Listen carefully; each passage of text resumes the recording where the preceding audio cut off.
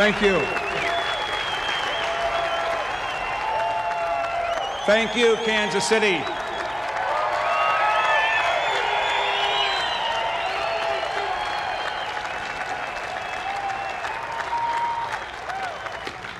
Today concludes a long journey that has taken me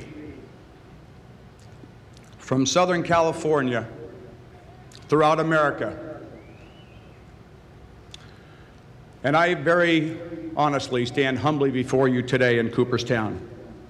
As with any journey, I have been helped by so many people. That is why this induction is so special to me. I get to stand here and thank the many, many people who have helped me over my career in many different ways besides just playing baseball. I have always believed we live with our friends, not our accomplishments. I haven't accomplished one thing in baseball since I retired, but I still have a lot of friends. To two old teammates I had, Duke Wathan and John Wathan. I played against, I played with him in the minor leagues. I played with him in the major leagues for so long and then got a chance to play for him.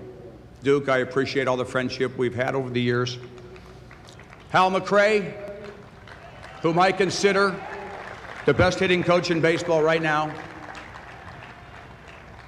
He's the one that taught me how to play the game of baseball. He led by example. He ran balls out, he slid into second, tried to break up double plays. He stretched singles to doubles, doubles to triples. He would do whatever it took to win a ball game. And you know what? He wasn't in a hurry to go home when it was over. He was willing to sit in his locker, have a few cold ones, and discuss the game for as long as it took to learn something from other players or to help them learn. He was a great teammate and a great man, man to play for. I'd like to thank the Kansas City Royal Organization for their support over so many years. I signed with them in 1971 and I'm still with them. Hopefully, I'll be with them for a long time.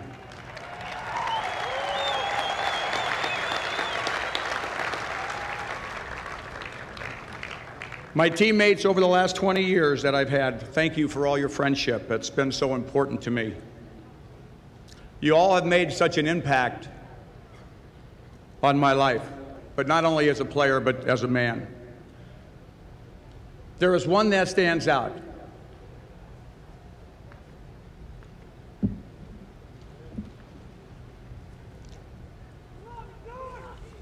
Jamie Quirk.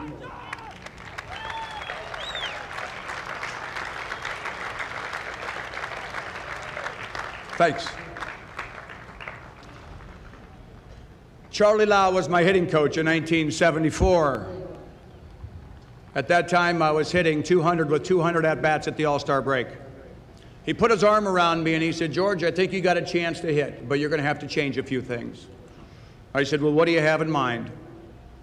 And he said, Well, I'll tell you what. We have two days off for the All Star break. We have practice at 5 o'clock on Wednesday, and then we're going to jump on a plane and fly to Baltimore. Why don't you meet me at the stadium at 2 o'clock and we'll sit down and we'll discuss it and we'll try to figure out a philosophy and a theory that will work for you. Well, we got out there and we looked at video of players that he's helped before and other players that uh, he wanted to maybe model myself after. And we started to take batting practice every day. I think for as long as Charlie Lau was our hitting coach, he and I had extra batting practice, 3 o'clock on the road, 4 o'clock at home. Some days it was for five swings, 10 swings, just to make sure you didn't lose anything from the day before. And some days might have been for 15, 20 minutes, trying to find out what's happened from the night before. But Charlie, thank you so much for molding me as a ball player and making today possible.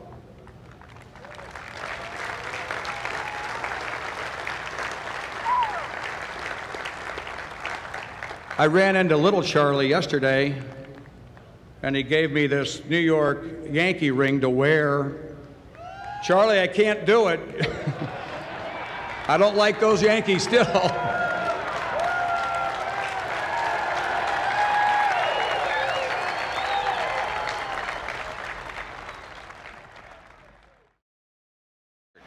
In the outfield, the veteran Lou Piniella in left. Bobby Brown in center field and Reggie in right. Rick Cerrone, excellent throwing catcher, who has also put together some outstanding offensive stats this year, and pitcher Tommy John.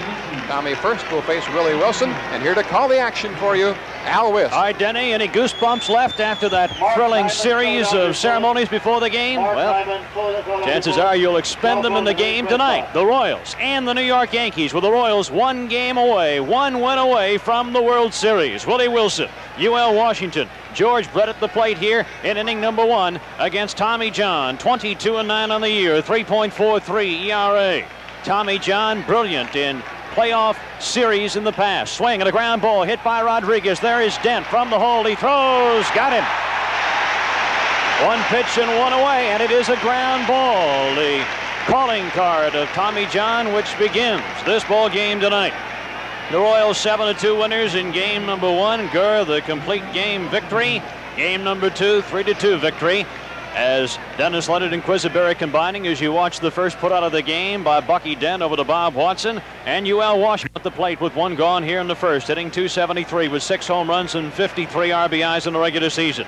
In the playoff series, 286 is average, two for seven with an RBI. The pitch is in there for a called strike one. That's a good pitch by Tommy John. You've seen both of his effective pitches now. The sinker to Willie Wilson leading the game off, and the good curveball to UL Washington. Tommy John, 37 years old, 0-1 against the Royals this year as Denny ran down. He, however, in the regular season won five of his last seven games. The one strike pitch on the way. One and one to count to UL Washington. Tommy John, his start, though he was the top winner for the Yankees this year, delayed until game number three, and a couple of reasons coming into play for that as UL Washington stands in. John the 1 1 pitch. 2 and 1 the count. First of all, he is much more effective here at Yankee Stadium with the natural turf versus the artificial turf of Royal Stadium. Of course, ground balls, but he serves up most of the time, 20 of them in one game earlier against the White Sox this year. Line drive hit to center field. Little drop for a base hit. Over to corral the ball in the series of hops is Bobby Brown. So the first hit of the ball game is UL Washington. Slaps a single to center field. Also coming into play the bad back of Tommy John. John had to leave a game one week and two days ago early because his back was kicking up and giving him problems. So a couple of left-handed veteran pitchers tonight, each very productive in their major league careers, each troubled this season by back problems. Let's see how they do tonight. A man on with a man out and George Brett at the plate, 390 with 24 home runs, 118 RBIs as the Royals hitting in their half of the first. Brett with 23 hits in the American League Championship Series in which he's played. UL Washington back over to first base. If there's one chink in Tommy John's ar uh, armor, it's right now with a bad move to first base. One, there's his strike. 0-1 the count to George Brett. He doesn't possess the type of move that is conducive to keeping runners close. UL Washington with good speed at first may be able to exploit that early in this ballgame. Yankees set for two on the infield. One strike pitch pulled to the right side. There's Randolph down to dead. Back to first. Not in time. George Brett safe on the field. His choice over at first base as Watson turning to look at first base umpire Bill Haller. 4-6 on the put out of UL Washington down at second as you watch it again. The key to hitting that Tommy John sinker is patience. The hitter has to go up there hoping to get a ball high in the strike zone because anything that starts out belt high or below is going to end up below the knees and you're going to smother it into the ground. So two outs thus far in the first inning, both on ground balls as Hal McRae getting set to go, hitting 297, 14 home runs, 83 RBIs. He is looking for his first hit in the series. He is 0 for 6. Hal crouching at home plate. George Brett over at first base. Flip over there by Tommy John and George back in time. 55 degrees at game time for game number three in the American League playoffs. And as we said, it rained heavily beginning at 7.30 East Coast time. Rain for about 15, 20 minutes. 2-0 pitch. Hit to right field. Slicing to Reggie Jackson. And that's all for the Royals in the first. At the end of a half inning, the Royals no score with the Yankees coming to bat. All right, for the Royals defensively, Willie Mays Aikens at first base. Frank White, the second baseman. UL Washington at shortstop. George Brett over at third. Willie Wilson from Summit, New Jersey in left field. A speedster Amos Otis with a lot of speed in center. And Clint Hurdle over in right making his first start of the playoffs. Behind the plate, Darrell Porter. And on the mound, the big left-hander Paul Splittorff, who was 114 and lost 11. All right, William, see if Willie Randolph can get them going again. Well, Willie has in the past. He's four for nine in this series. On the year, Willie hit 294 with seven home runs and 46 runs batted in, in addition to walking 119 times. It'll be Randolph, Bucky Dent, and Bob Watson against the left-hander Paul Splittorff. And Willie Randolph takes a strike.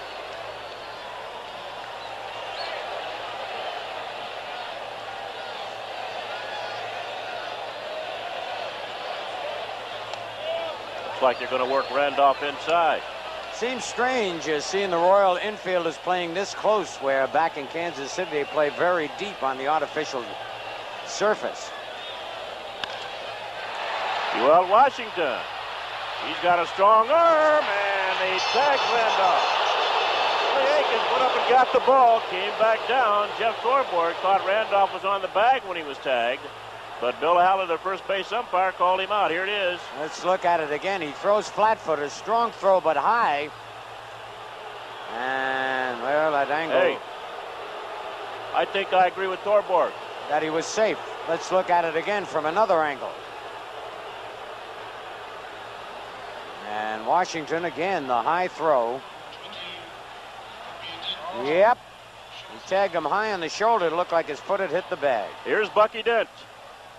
Bucky, two for seven, skips away from a ball inside. Yankees have scored just four runs so far through the first two. Frank White at second. Short hops.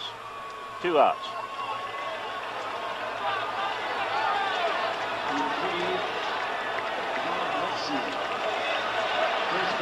And Big Bob Watson's a batter. Bob batting a 307 on the year. He was three, he is three for eight so far in the series. And he hit that double yesterday we showed you into the left field corner that Randolph tried to score on. And a fine relay from Wilson to Brett to Porter and nailed uh, Randolph at home plate.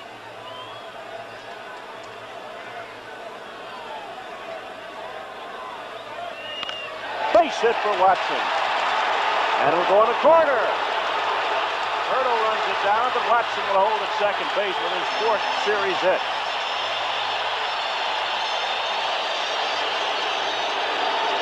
When Bob Watson goes the other way, he really stings the ball. Beautiful. Watch this ball tailing away, goes right with it. And Hurdle misplayed this one. It really skips off the wet grass and is by it before he can get over there. And now Reggie Jackson with a chance to put the Yankees on top.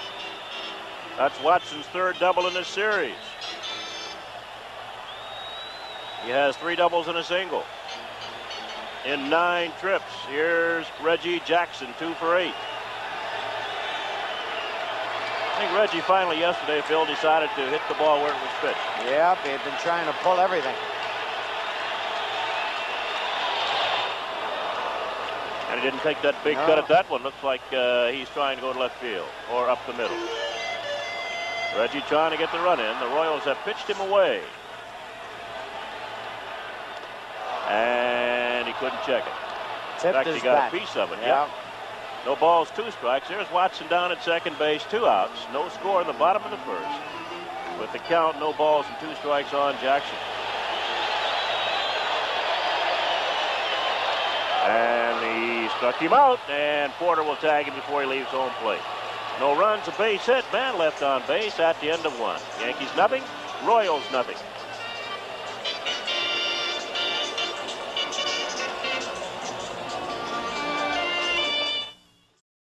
Otis likes, uh, will lead off here.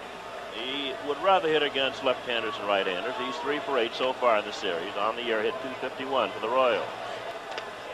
And a strike. John likes Splittorff has also pitched well in league championship play. He's 2 0. Both those wins, though, with the Los Angeles Dodgers. And he has a string of 15 straight scoreless innings now in league championship series play. And he's given up just one run in his last 19 innings of pitching in league championship play. Bucky Dent gets another shot at shortstop in the dirt, but Watson Oh. comes up with it. What a play. Bob Watson. Ah, that was a wicked hop, Bill. Well, Ed, I think he's lucky Bill it took a long bounce to him. Let's watch it. Yep. Bucky turns that ball over, see? Yeah, he's been doing that a little bit. The sinker way out in front of Watson, and it came up, as Bill said, didn't stay on the ground and scoot under the glove. That's a big out. So there's one away here in the second. Good play by Bob Watkins. Mr. Watson. Willie Mays Aikens a batter.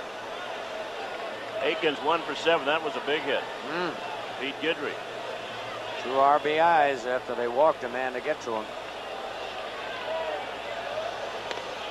And he takes low, ball one. Yankees suing the Royals, all left-handers. Guidry started the first game. Rudy May started yesterday.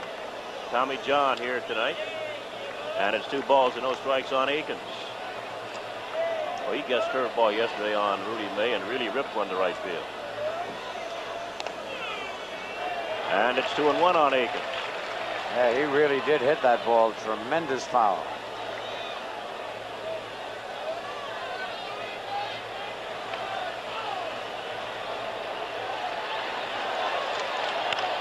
And he goes the other way for a base hit.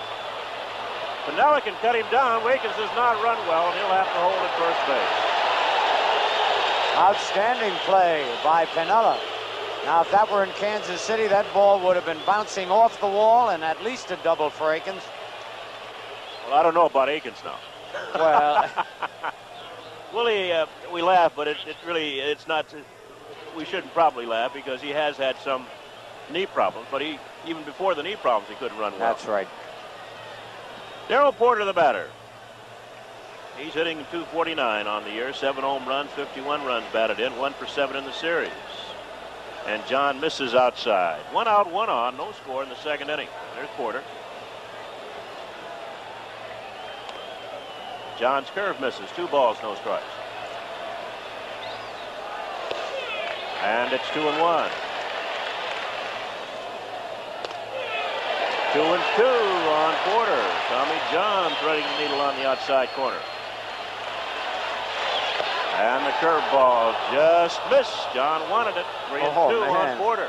Did you see Tommy recoil on that one?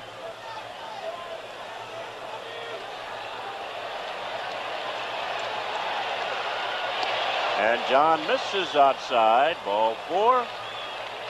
And the Royals have runners at first and second with one away. And the batter is the right fielder, Clint Hurdle.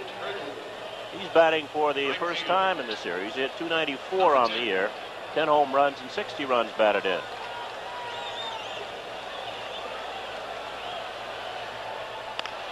That might be two. Dent Randolph. Double play. Six, four, three.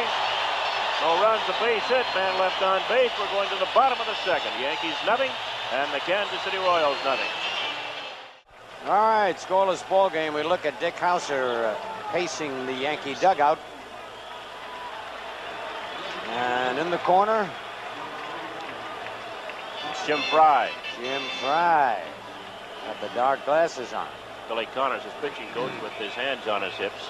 Hey, I told Don Connie every time I mention a birthday or an anniversary or a wedding, we win.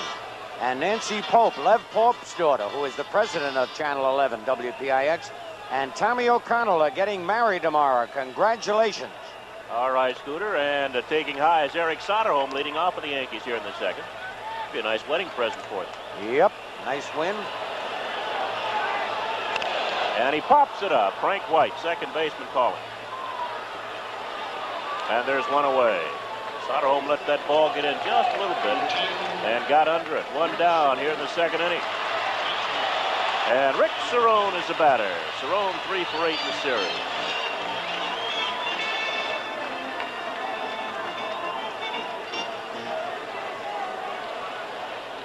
And the curve misses. 2 0 on Cerrone. And Rick takes a strike. It's 2 and 1. And it's fouled back. Peeled back out of play. Two and two.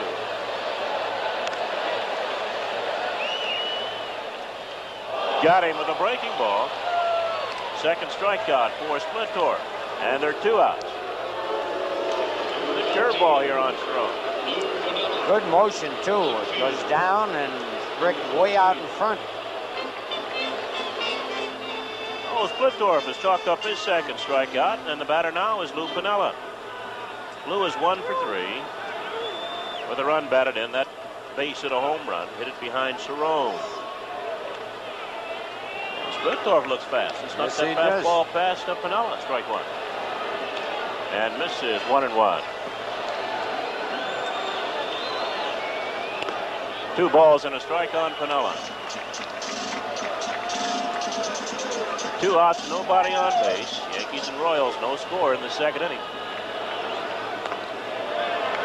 And it's three and one. All year, Phil, the Yankees have sort of built walls to try to climb over, and have done it again here, of course, with the help of Kansas City. Yep. Royals have been tough through the first two. Lou Piniella's yelling at Jim Frey over there. Lou would like to get something Oh. going. Attaboy, Lou.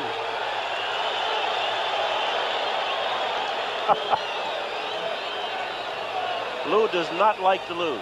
Nope. And you like players like that. He would do anything to try to ignite the Yankees. And it's ball four. Piniella off. That's the first pass given up by Splittorff. Piniella's on at first base. There are two outs. That's only the third walk given up by Kansas City pitches in this series. The Yankees have given up nine base on balls. Big difference. Yep. Rodriguez, Aurelio Rodriguez, one for four in the series. There are two outs. Piniella's at first base.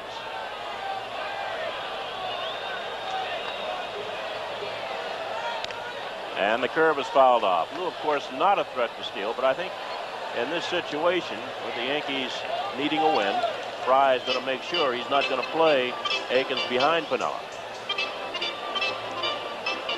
Normally, you would play the first baseman behind Lou.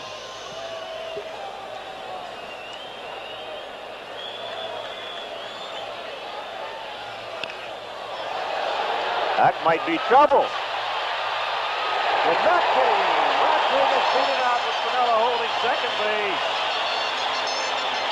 Little chopper down the third baseline. Splittorff took a long time getting to that ball. Not only that, but if he lets it go, it's got a kick foul. Big break for the Yankees here. A lot of English. And then he throws off balance. And Aurelio beats it out.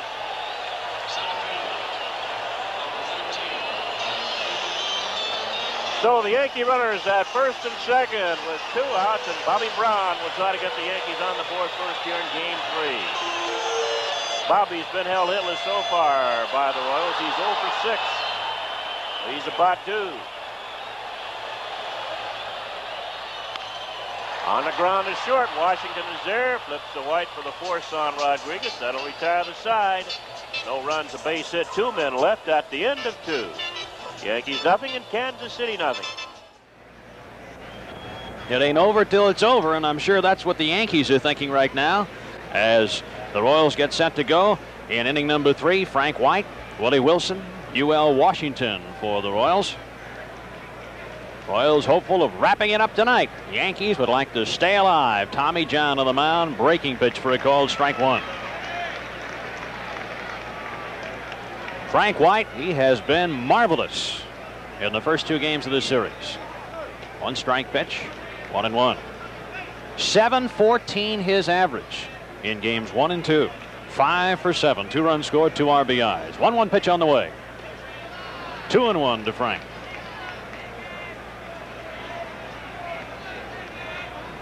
Two one delivery is ripped to the glove of Rodriguez. Found it with the black hand. That old glove of Aurelio's comes up with a new trick. Spears the liner of Frank White. One gone for the Royals here in the third. Here's Willie Wilson. One strike to Will. Al, Tommy John throwing uh, more breaking balls early in the ball game than I'm accustomed to seeing him throw. One strike pitch high, one and one. Tommy says he's still capable of throwing an 89 mile per hour fastball, which is very adequate, but he won't showcase it very often. 1 1 pitch. Chopper hit to the left side, backhanded by Dent, across the diamond in time.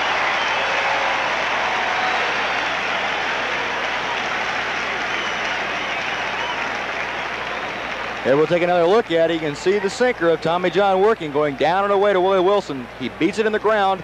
Bucky Dent over in the hole to make a very good play. He had one chance on that ball, and he did it exactly right.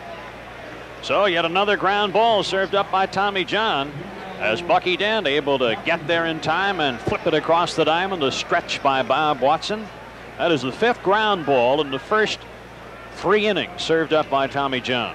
Two gone for the Royals here in the third, and UL Washington now at the plate. UL lined to center field for a base hit his first time up. John serves. 1 0 the count. Tommy John tattooed by the Royals in his only appearance against them this year.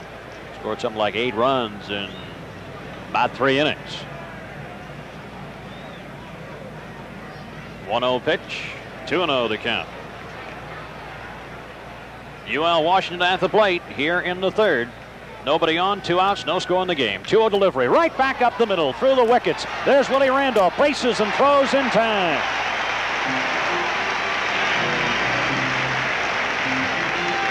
Yeah, it looked like a base hit, but Randolph was able to get there behind second base to spear it and flip over to first, and that's all for the Royals. One, two, three in the third at the end of two and a half, no score. Last of the third, Yankee Stadium. Randolph at the plate, leading off, takes a curveball. Ball one. Boy, baseball fortunate tonight, at least in Yankee Stadium. It was raining right before game time. The rain stopped. We've not had a drop since. 1-0 pitch. Hit up the middle, base hit. Leadoff man on for the Yankees. That's first time tonight that this has happened for either team. As Willie Randolph scoots it up the middle for a base hit. Randolph over at first base along with Willie Aikens. Leadoff man on for the Yanks. And remember, he's a dangerous customer. 30 stolen bases this year. There you look at Bucky Dent. Grounded out to second his first time up. One strike pitch. Reaches out. Knocked down by Splittorff. Goes down to second for one. Back to first. Double play. What a tremendous relay by Frank White. He got it late, had the runner bearing in on him, and barely even had time to cock the arm and still got a bunch on the throw. Watch this. Had to throw around the runner and still got enough on it to get Bucky Dent. So a 1 4 3 double play for the Royals. And that erases Willie Randolph and company. Two gone very quickly here in the third. And Bob Watson at the plate. That was a very important double play because, as you can see, with Watson now at the plate, Jackson following him, the power portion of the Yankee lineup now will be faced by Paul Splittorff. But with the bases empty, swung on and missed on a breaking pitch, one strike. Watson with a double. His first time up to right field. Seemed to pick up speed as it skipped off the wet turf and then caromed off the wall and right. One strike pitch. One and one to count. There are veteran left-handers, both Hoosiers on the mound tonight, both from Indiana. Splittorff against Tommy John. 1-1 pitch. Chopper hit over the mound behind second base into center field for a base hit. Well, the importance of the double play accentuated by that single by Watson. And now Reggie Jackson to the plate in the scoreless game here in the third. There's another look at it. You can see it's a breaking ball, and it's up in the strike zone. Exactly where Paul Splittorff didn't want to throw it. Bob Watson, the kind of hitter that he is, is able to shovel up the middle for a base hit. Uh, Jackson has Watson over at first base. Reggie struck out his first time up. With the Yankee faithful exhorting their home team on. But the Royals have the advantage in games, two wins to none. Jackson. Two for four yesterday. Takes a strike. Reggie, when he struck out on the first tee, got a good pitch to swing at, didn't he? Yes, he did. He uh, fouled off two consecutive 0-2 pitches, and then Paul came almost right down the middle with a good fastball. One strike pitch on the way to Jackson. Hit long but foul down the left field line. He's behind in the count 0-2. Reggie Jackson, a low fastball hitter, and Stevie has started him out, challenging him here with two low fastballs. I think Paul really feels confident going after Reggie Jackson after seeing Larry Gura basically stay with fastballs and hard sliders away. Hurdle very deep in right. Otis deep in straightaway center field. There you see Watson with, wait a minute now, apparently a balk by Paul Splittorff as Watson going down to second base. And here comes Jim Frey saying, hey, what happened? And Jim asked the question that uh, Paul had not gone into his stretches of yet. He wanted to find out from first base uh, umpire Bill Haller. You can see Paul Splittorff there uh, not really being too receptive or uh, whatever about Bill Haller. He, he wasn't sure if he did or not, but Bill Haller made the call. Now we're going to look at it. What happens, you see right there, Paul Splittorff began to go into his stretch motion while still on the rubber and then stopped. Once you begin a motion while you're in contact with the rubber, you have to complete it. Now let's see if that is a crucial error. As the Yankees hitting with two outs and now man in scoring position and Watson over at second base. And you know the Rangers Reggie Jackson becomes even more dangerous with man scoring position. But he's hitting behind in the count of one 2. Man at second, two outs. No score in the game. Two strike pitch to Jackson. He popped him up, but is drifting over toward the stands. There's George Brett by the photographer's row. He won't get there. It's back in by about four rows. Bear in mind that there's an auxiliary photographer's row that cuts out about four to five feet of the playing field. There's a look at Reggie's swing. You can see, again, he does not get cheated. A fastball about bell high on the outside part of the plate. Reggie's timing a little bit off, and he fouls it into the stands. So Jackson alive. Watson over at second base. Two outs. Two strike pitch to Jackson. Curveball, he struck him out. Big strikeout to Paul Splittorff, and the Yankees and Jackson gone in the third. At the end of three, no score.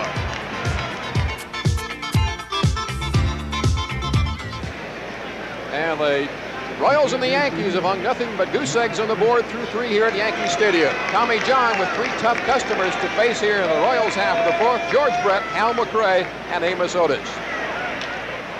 In the air, shallow left center.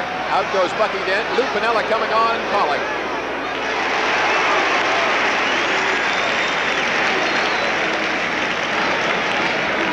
One gone for the Royals in the fourth, and here's Hal McRae. Al fly to right his first time in. 0 for 7 now in this 1980 championship series. One and one now. Hal McRae feels very confident, I believe, hitting at Yankee Stadium. He likes to hit the ball to right center, right field, especially off a sinker ball pitcher such as Tommy John. 433 average for McRae against the Yankees this season, and he'll improve it right there. Solid single to center by McRae. One on and one out for the Royals now, and Amos Otis, the hitter. AO bounced to shortstop his first time up. Three for nine now in the playoffs. Rain coming down steadily. Otis hits it to right field. Reggie Jackson started in, now goes back to make the play. That ball had a lot more carry than it looked like it would when it left the bat, Steve. The ball seems to jump off Amos Otis's bat. Uh, here you get a shot at uh, Reggie Jackson going back to the track. He didn't get a real good jump on it. I think uh, as we were, Reggie was a little bit fooled by how much the ball would carry. Two down now for Willie Aikens, who singled to left his first time in. Aikens only 25 years old. He's got a bunch of home runs in front of him. Look at the rain pelt down now on Tommy John. Outside ball one.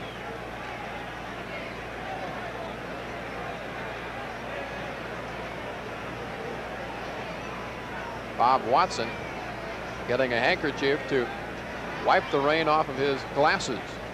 One of the very difficult things, Dan, you can see Reggie Jackson uh, shading his eyes from the rain. Very difficult if you wear glasses when it begins to have a heavy mist such as this. Darrell Porter on the Royals, a similar problem as, as Paul Splittorff. They're going to need windshield wipers if this keeps up. Pitch from Tommy John just misses again, 2 0 seems to be coming down harder by the moment. And that's going to do it, I think. Umpires hold up their hands and say, let's get out of here. There is Larry McCoy, the home plate umpire. Well, this comes with two men out and one Royal on base in the fourth inning of a scoreless game. George Brett flied out to left to begin this inning. Hal McRae singled to center, and Amos Otis flied to right. Willie Aikens at bat now with a 2-0 count on him as the rains force a suspension of play here at Yankee Stadium. The field appears to be in good shape, Steve. Yes, it does, Denny. Uh, I believe that uh, if you take a look at Tommy John, the umpire has made the very correct decision at the right time to get the tarpaulins out on the field, protected from, uh, especially the skin portion of the infield, from getting too wet, too soggy. Uh, there are a couple of spots, such as uh, where Tommy John is striding from the rubber out to about eight feet in front of the rubber, where they've sprinkled some uh, uh drying substance out there so that uh, neither pitcher will will slip on the on the wet clay. If Tommy John could retire Willie Aikens and the Royals here in the fourth, it would give him a string of 18 straight scoreless innings in playoff competition. The previous 14 for the Los Angeles Dodgers in the National League. Willie Aikens hitting with two out. Darrell Porter would be next if Willie Aikens could keep it alive. It is 9.58 Eastern Time as we resume.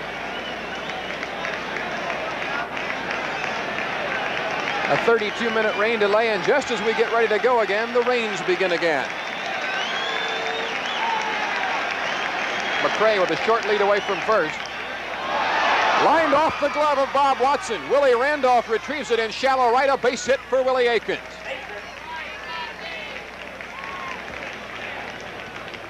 Denny, that, that ball was a very hard hit line drive by Willie Aikens. Here you see it again. It's a 2-0 fastball, the first pitch after the rain delay.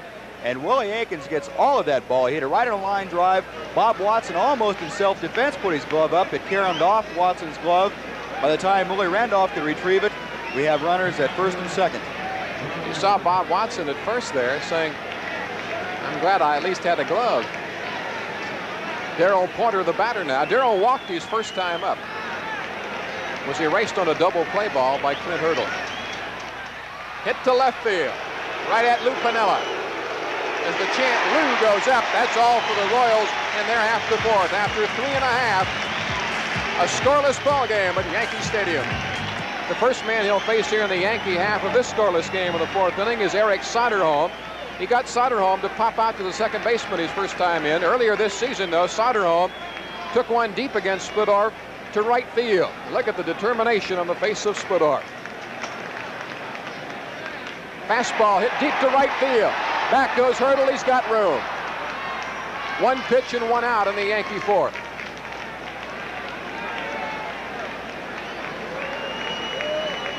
That ball did not seem to carry real well. The air getting a little soggy here in the Big Apple. Uh, you take a look there at the uh, rain falling uh, on Yankee Stadium, and it is going to cut down on the carriage of the ball, uh, especially into the corner right field. The wind seems to swirl uh, in that portion of the stadium and knock the ball down a little bit. Rick Cerone, the hitter now. A strikeout victim his first time in. To center field. Hit solidly, but Amos Otis there. That is hitting the ball into Death Valley here at Yankee Stadium. 430 feet to that area of the ballpark. Lou Piniella standing in now with two Yankees gone in the fourth, nobody on. Curveball to Brett at third. Bobbles and fires. Got him. Three up and three down for the Yankees in the fourth after four full We're scoreless at Yankee Stadium. Here's Hurdle standing in now. Clint batted 478 against the Yankees this year and was very outspoken in his disappointment about not starting the first two games of this series. Tommy John trying to tease him with a breaking pitch to start him off. Ball one.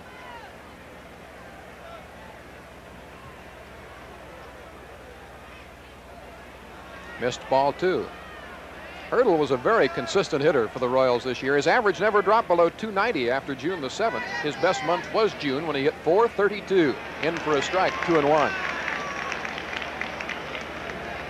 The 2 1 from Tommy John. Stitched the outside corner, strike two.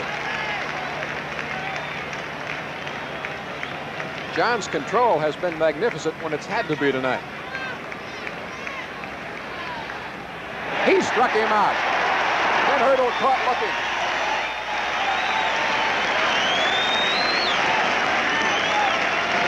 That's the first strikeout of the game for Tommy John, who has fanned only 54 men now in about 240 innings this season. There you get another look at it. It's a breaking ball. It looks like a slider. It just does catch the outside corner, and Clint Hurdle was completely off stride. Frank White standing in. He lined out to third baseman Aurelio Rodriguez his first time up, dropping his playoff average to a cool 625. Only five men in playoff history have ever hit 500 or better. Last man to do it was Chris Chambliss in 1976. This one is hit deep to left field. It's going to be gone. Home run, Frank White. Touch them all, Frank.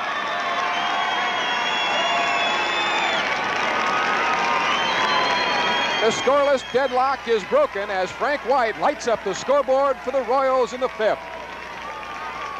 Oh my, Danny, that, that is a clutch, clutch performance by Frank White, picking up where he left off in the first two games of the series, hitting a, a Tommy John fastball into the left field seats and really giving it a ride.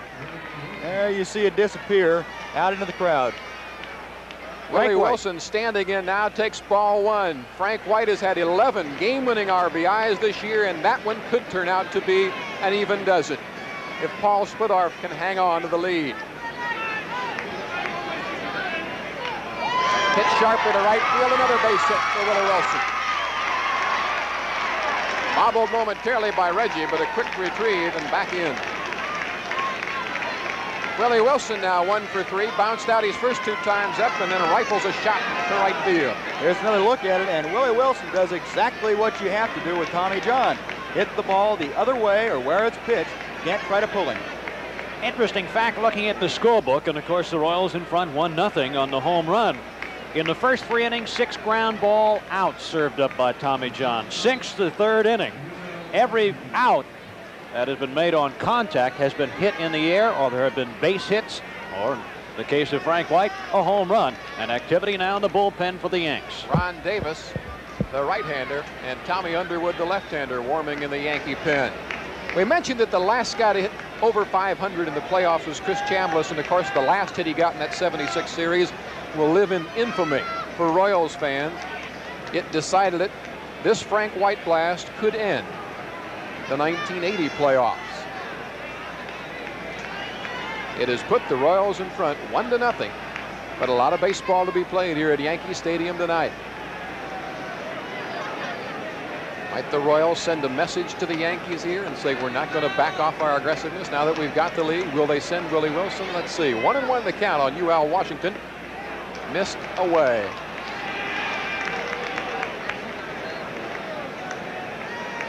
You would have to say the count and the situation are in favor of the Royals. Bounced out in front of the plate. Cerone has only one play. He Slips, fires to first, and got it. Very close play at first. Oh, goodness. The, the wet infield almost came into play. Here you see a ball chopped out in front of home plate. Rick Cerone makes a good break. Out, comes out, picks up the ball, and slips right there on the wet turf. Ooh, very close. Very close. He was out. Are you? I'm not so sure he was out. I'm not sure he was. The only thing I'm sure of is that Bill Haller called him Called out, him and out. he goes back to the dugout. Yankee trainer Gene Monahan out now, working on Bob Watson. Appears to be all right. Lacing up the spikes again. So Wilson now has moved into scoring position with two down, and George Brett the hitter. Here's the 1-1 delivery. On the ground to Dennett short. Got him. So the Royals are gone in the fifth, but not before. They put one on the scoreboard. A solo homer by Frank White at the end of four and a half. Halfway through in Yankee Stadium, the Royals won, the Yanks nothing. Bobby Brown and Willie Randolph to follow. Rodriguez with a base hit in the second inning. Bounces it foul. 0-1. We certainly talk about George enough. He gets enough publicity. Talk about Ewing Kauffman, owner of the Kansas City Royals. Man who's built a pretty good ball club there. And just one game away, or half a game right now, from their first ever pennant. I bet he's really happy. Mm. Pop foul out of play. Well, it's really it's interesting as far as the way they built their ball clubs, uh, the philosophies. Uh, I think on uh, 25 men playing here tonight for the Royals, 15 have come through their farm system, and the Yankees have the 25 two. And that's uh, Bobby Murcer, who, of course, was here very early, 65, and came back, and, uh, of course, Ron Guidry. Course, you got to give George Steinbrenner credit for the fact that the Yankee farm clubs now are very strong where they weren't before. He spent the money down there in the farm clubs, and I think you will be seeing a lot of players coming out of the Yankee farm club. Two and two. If, I, if I'm not mistaken, the, the Yankee farm system, all the clubs except one won a pennant this year and last year. They've been really coming along the last two, three years since he's put that, uh, he puts down a manager down here, a pitching coach, a hitting coach. He's really going all out. Well, I talked to Joe Altobelli, who uh, managed the Columbus Club, had a fantastic year, and uh, he had John Kennedy, who uh, we played against in the 1966 World Series for the Dodgers, and uh, he had Sammy Ellis, who used to pitch for the Cincinnati Reds. 3-2 pitch is popped up, shallow right field. Frank White, man of the hour right now, makes the catch. One guy. Al, that's the direction our organization is going to uh, in the future. We're going to go and build up our farm club and bring the players up through our system. What about free agents? Will you go after any of those? Uh, we, we might take a little shot at them next couple this first year here and maybe a little bit next year, but we're not going to do anything to hurt our organization uh, would like getting those players that want no trade, no cut contracts. You don't think George is going to get any uh, free agents if they lose tonight, do you? Want to know the count on Bobby Brown. I think he'll be looking for uh, some speedy outfielders next year, and I wouldn't be too surprised if he made a strong bid for that young man over there in San Diego. He's got the Bucks to sign him, too. Dave Winfield we're talking about. 1-0 pitch is hit high in the air to left center field. And Willie Wilson makes the catch. Two down. Two out in the fifth inning with the bases empty. And Willie Randolph, the batter. Grounded out and singled. Two out, bases empty. The Yankees have scored only four runs in this series. Three of them have been on home runs with the bases empty. Piniella, Cerone, and Nettles last night and inside the Parker. And the uh, fourth one was really scored on a ball that John Wathan lost in the lights. So conceivably they could have scored three runs in, in, in, really two and a half ball games. Similar to what we did last year against Pittsburgh. We went in the last uh, with a three to three to one game lead and scored two runs in the last three ball games. It's just tough. We had three well-pitched games, but just weren't well pitched well enough to win. Well, you made a liar out of me. I predicted y'all going to win. Two balls, no strikes on Randolph. Three. I'm not going to listen to your predictions anymore, buddy. You told us the Yankees in four. you know, I, am starting to believe that I'm not going to predict anymore. and Stuff.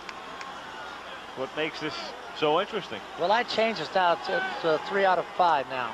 Three out of five, all right. Right. That's right. First you, first you had them in three, and then you had them in four, and now you have them in five. Well, you know, that's the way the day goes. You, are allowed to switch. Tomorrow you may have them in seven. Inside, ball four to Randolph. So Willie draws a second walk given up by Splittorff. Randolph aboard for the second time in the game. And up comes Bucky Dent. Grounded out and grounded into a double play 0 for 2. Yeah, I think we got to see Willie stealing the base or trying to steal yeah, the base. Anyway. I would think so. I'm just going to uh, bring that point up right here. Uh, the Yankees with very little speed, only Brown and Randolph are really threats to go, but they got to get something cooking here. Yeah, they got to create it. He's got to steal second base right now. I'm not sure if he can. Uh, you know, the, the, dirt's a little bit wetter. And Splittorff has a fairly good move. He's deceptive.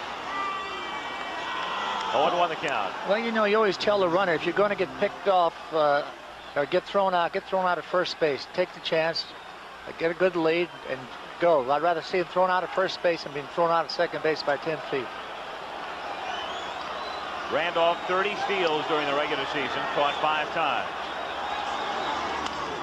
Hit in the air to center field. Amos Otis makes the catch. And the Yankees are done here in the fifth inning. No runs, no hits. Leave one through five. One nothing Kansas City. We'll return to New York after this word from our local station. It's tough to reach perfection, like pitching a perfect game. But Jockey brand underwear really comes close with the comfort and quality of pure comb cotton. And real quality means real value. I always wear Jockey brand. either classic white or fashion colors. If I pitched the way Jockey makes underwear, I'd never lose a game.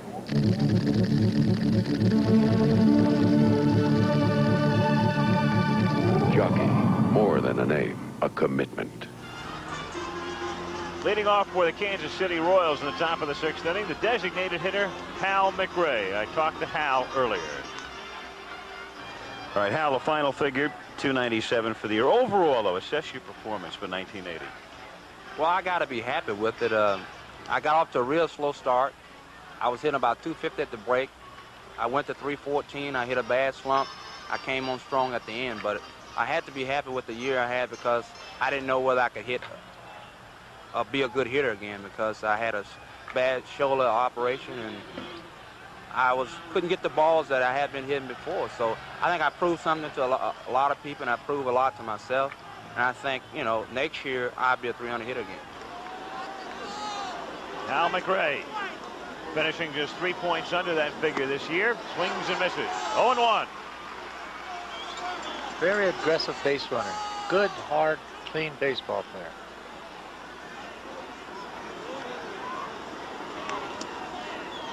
One ball, one strike to count. Of course, when you're the manager and the other team and he knocks one of your second basemen out of there, you don't like that very yep, much, Al. in the playoffs. A couple of years ago. Bouncer to short. Dent over to Watson. One away here in the sixth inning with nobody on. Kansas City leading it one to nothing on the home run by Frank White. And Tommy John to face Amos Otis.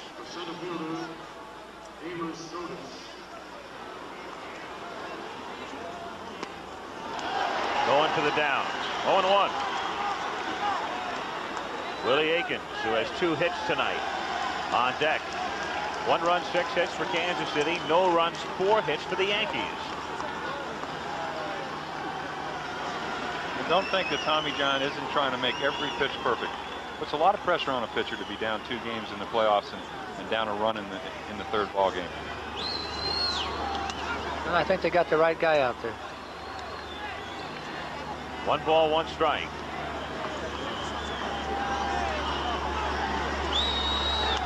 Tries to bunt his way on, and Cerone makes the effort but has no play. Billy, let me ask you about the use of Gossage. The Yankees obviously would like the Goose to come in to protect a one-run lead and pick up the save. But now you're down. You've got your backs to the wall. If Tommy John runs into trouble, do you go to the Goose in this situation? I would think so, Al. I don't think they can wait any longer. I think they got to go out there and stop it right away. And Goose is capable of going four or five innings. You just hope that if he had to go that long, that they'd come back tomorrow and get a complete game if they won the ball game. Call strike three. Amos didn't like the call. It also looked like he was not looking for that location by any stretch of the imagination. And Larry McCoy. I think Larry told him it was a good pitch. That's uh, about all an umpire can say. Until you say something. I think the ball the ball looks high, but he hasn't been calling many low pitches, and if he's had a tendency to call any pitch, it's the ball up.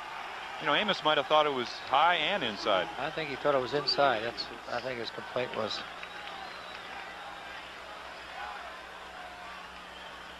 So two down with the bases empty, and Willie Aikens, two for two with a couple of singles, three for nine in the playoffs.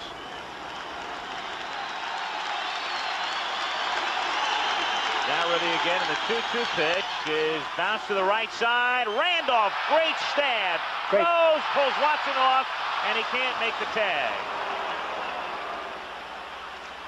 So Willie Randolph stopping it from going on through, but Aikens has his third hit here. Well, he makes a nice play. The thing I wonder is it didn't look like Bob was really situated around the, the bag to, to go either way. And uh, it looked like if he had shifted his feet, you'll probably see it right here. Now, if he's the other way on the other side of the bag, it's an easy play. Yep. He just kind of uh, assumed the ball would be on one side of the bag and really wasn't ready for, for a throw on either side. Absolutely correct, Jim. He positioned himself wrong and got caught in that old trap where you got your body crossed up there and he couldn't come back on the other side. You always got to look for that bad throw over there. Darrell Porter walked and flied out, takes outside for a ball. One to go. That's what you teach at second base and all the positions. Always look for a bad throw because when you get the good one, you're not going to be surprised. But you will be surprised when you get that bad one. It's away from Cerone. Aikens moving along to second. And the count will be 2-0 on Darrell Porter. I think if a manager's really, uh, excuse me, Billy, if a manager's really into stats, and Darrell, uh, I think, getting five out of seven hits off Tommy John, do you think about maybe pitching a Hurdle in this situation? Well, I, I would actually would like to see that happen because uh, Porter's been swinging the bat well. Look, we have the trainer out there in the mound right this time. That's Gene Monahan. Oh, I guess the, his the mud is clogging up his spikes and bringing out that little little stick you guys carry out there. Usually, uh, don't you have it behind the mound so you can reach, go get it? Yeah, I, I agree with you, Jim. I would, I would, if you are going to pitch to him, pitch very careful. Tommy John can pitch around him. Just hope he swings at a bad ball, and if you walk him, you don't care.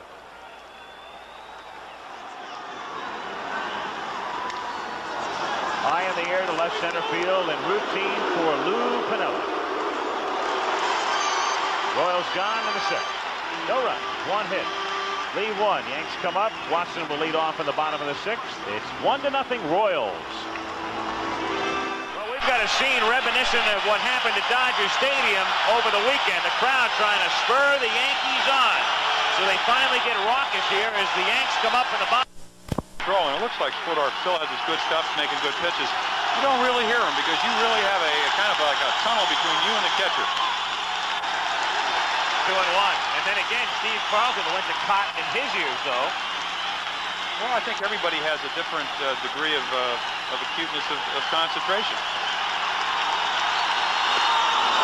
Two and two. Didn't seem to bother him there. Two, two balls, one strike. Came back with a curveball. Excellent pitch. Some guys get too excited and overswing. The 2-2 pitch to Watson. Line drive. Great catch by White. Frank White timing his jump perfectly and takes a base hit away from Watson, who is bidding for his third hit of the game. Just a wonderful play. Super play. High fastball out over the plate. Really kind of gets in on him, I guess, and he just fights it off, and he hits it awfully good because he is a strong guy, and White going as high as he can go. I don't think he can get up there much higher. The crowd chanting Reggie, Reggie, 0 for 2, struck out twice. 0 and 1. There he is, Frank White. Home run tonight. That's the difference in the game. Six hits in the series. Started the double play last night that ended the game. The Yankees with really only one threat, second inning, and two on, two out. Brown grounded out. That's been it. Line drive, fair ball into the corner. Willie Wilson out onto the track to run it down, and Reggie has it double.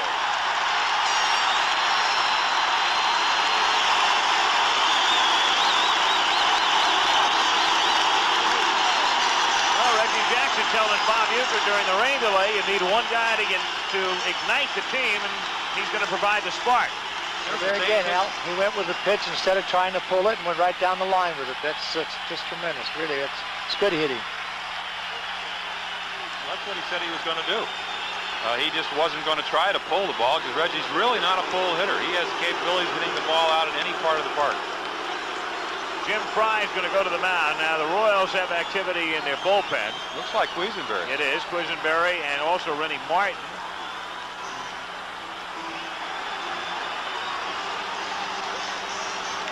And they're going to make the switch right here. Brett, Frey, and Porter are all standing on the mound as Dan Quisenberry comes on here in the sixth inning. Of course, the first out of the inning was a solid shot off the bat of Watson, caught by White, then the double. And here comes Quisenberry. We saw him last night, picked up the save, induced Nettles to hit into the double play. Now that's the decision the manager has to make, and he's the only one in the ballpark going to get the blame or the credit for it. Of course, Quisenberry, just like Kent Tekulve, same sort of motion. And as a matter of fact, the two of them uh, have talked at considerable length with each other. We saw Tekulve there, and here's Quisenberry in action here, almost looking like an instant replay. I caught What to Dan before the playoffs. Success this year.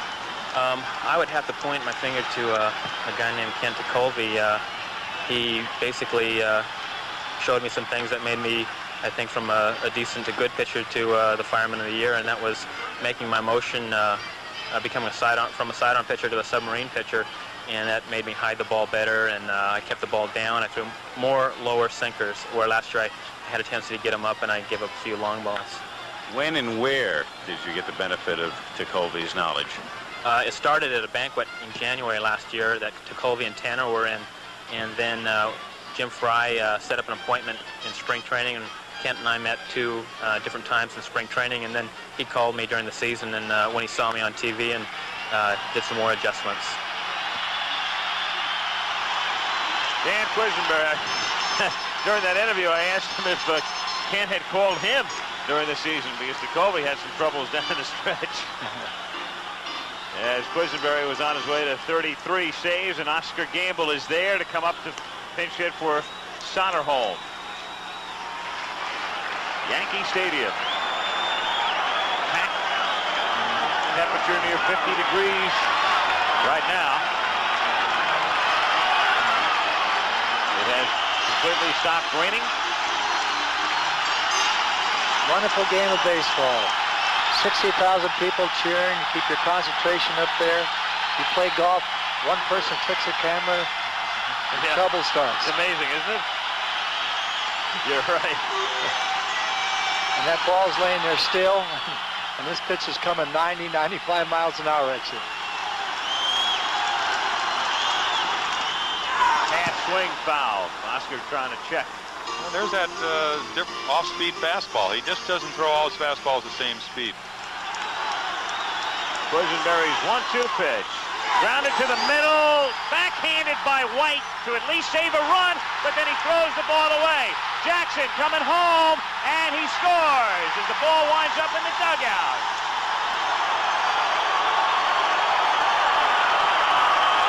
So the Yankees tie the game. Oscar's got to go to third base. Oscar Gamble's wife.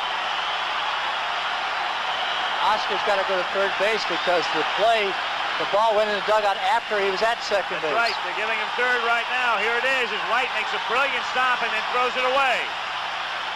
Well, the intentions are good. A lot of runners will round third base, take a couple extra steps. If you don't have a play at first, a good second baseman will make a throw to third, hoping the runner will be off the base and be tagged out. But it was an off-balance throw.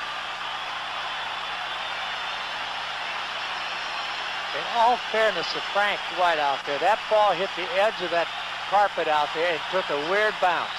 It did. An erratic hop. But still, does that have anything to do with the throw that he makes, Philip? No, it does not, Al. He was trying to, uh, to get Reggie when he rounded third base, which is a real heads-up play, a smart play by a second baseman. And it just didn't work out. He threw off balance and made the wild throw. That's a base hit for Gamble and an error charge to White. No RBI. Jackson scoring. We're tied 1-1. Cerone the batter. Runner is third. One away. One and go. Take a shot here. The Royals infield with the shortstop Washington. There he is, second baseman Frank White. They're in an either way situation right now. Cerone at the plate. One ball, one strike to count.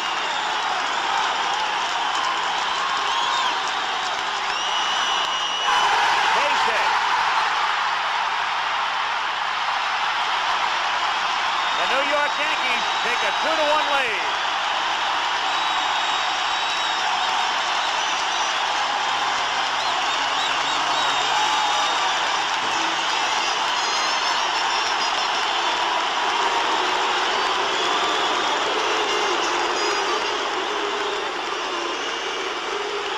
just a, instead of the ball being, look, it's right up in the middle of the plate. Cerone drove in 85 runs. I don't think he would have had a chance to catch it if he was back either. Clutch hit. He's been doing it all year. Maybe you're right, Jim.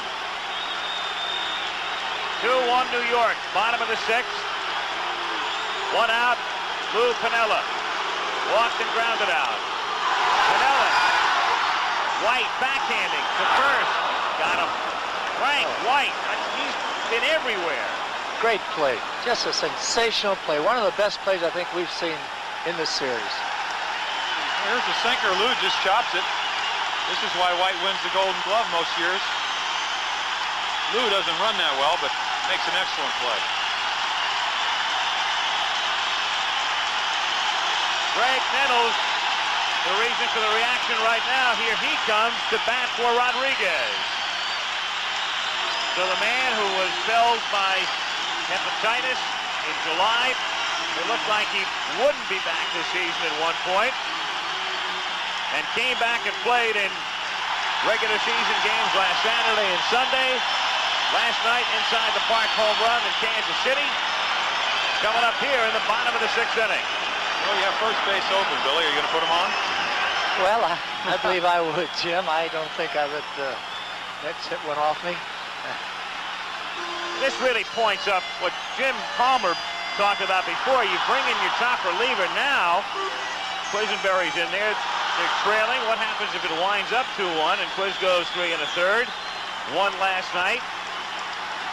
Gale going tomorrow. If, if, if. We'll see. Well, just off the top of my head, I'd get him out of there next inning while they're behind. You would? Yes. Don't you think it puts a lot of pressure on you then? What do you, what do you tell the writers after the game? Well, I shouldn't have brought him in the first time. well, that's why you're honest. Well, no, really. What, what, what do you got the game? You're behind now. Cerone at second, two down. 1-0 pitch. One and one. Remember, outside of Quisenberry, that bullpen is shaky at best.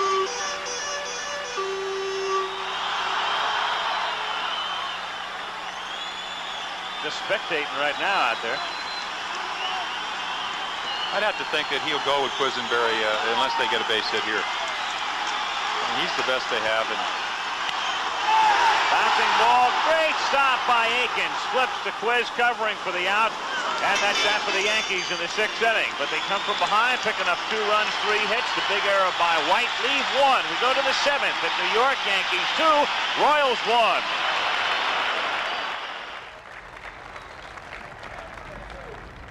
To my brothers,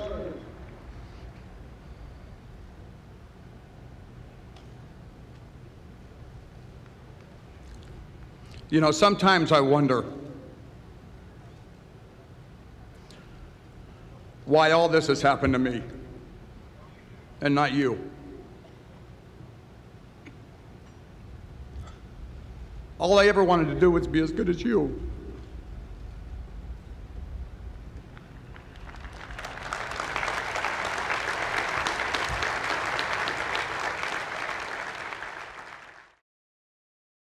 You're watching Royals baseball on WDAF TV, Channel 4 in Kansas City. Graig Nettles taking over defensively at third base for the Yankees now.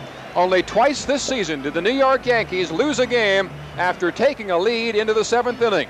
They lead two to one as we go to the seventh here, and here's Al. All right, Denny, pins and needles in the latter stages of this game between the Yankees and the Royals. Game number three, American League playoffs. The Royals with misfortune striking in inning number six, and they saw a lead of one to nothing evaporate and turn into a one-run advantage for the New York Yankees. But it's still a paper-thin lead, and the Royals would like to get back in front. They'll start it off with a pinch hitter, John Wathan, coming in to hit for Clint Hurdle. He'll be followed by Frank White, and then the top of the order in Willie Wilson.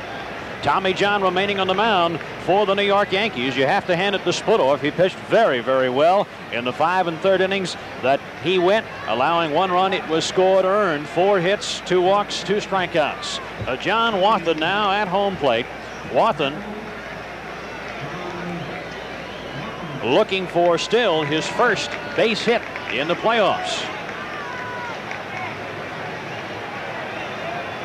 Wathan waiting on the first offering from Tommy John. Breaking pitch low and inside, ball one. John in yesterday's game. 0 for 3. Swinging a bounding ball. Hit the left side. Glove by Dent across the diamond in time. 6-3 in the put out of John Wathan. And that'll bring up Frank White. Frank White, the difference in the game, well, that home run earlier. Well, there you see the replay of the ground ball to Bucky Dent coming up with the ball and making a perfect throw to first base. Another ground ball out, surrendered by Tommy John. That's 10 of them now for Tommy John. He'd slackened for a while. All the balls hit in the air and then, of course, culminated with the home run. But about a hitter after that, settled down again, and since that time, he has picked up four more ground ball outs. So Tommy John might be finding a second win, and if that's the case, it's bad news for the Royals. John with a one-run lead, two to one here in the seventh. The pitch to White, breaking pitch, a strike. Frank White tonight is lined out to third and Homer. White behind in the count to John 0-2, who kicks in the two-strike pitch. Foul. That'll go into the Royals dugout, and the count remains 0-2. It's very easy, Al, to be a little bit overly aggressive after you've made an error defensively and try to make up with your offense for the defensive miscue. A lot of times when you attempt to do that, you're defeating yourself. You think about one mistake, you make another mistake. You just can't do it. One out here in the seventh. 2-1, New York. Two strike pitches fouled off again. And the count remains 0-2. Two strike pitch. Curveball that missed. One and two.